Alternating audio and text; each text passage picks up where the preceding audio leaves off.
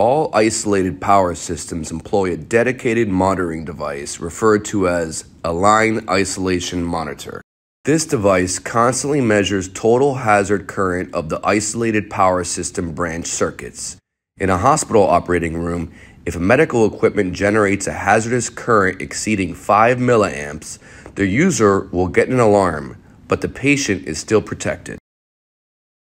The line isolation monitor will alarm if the total hazard current on the isolated power system exceeds 5 milliamps.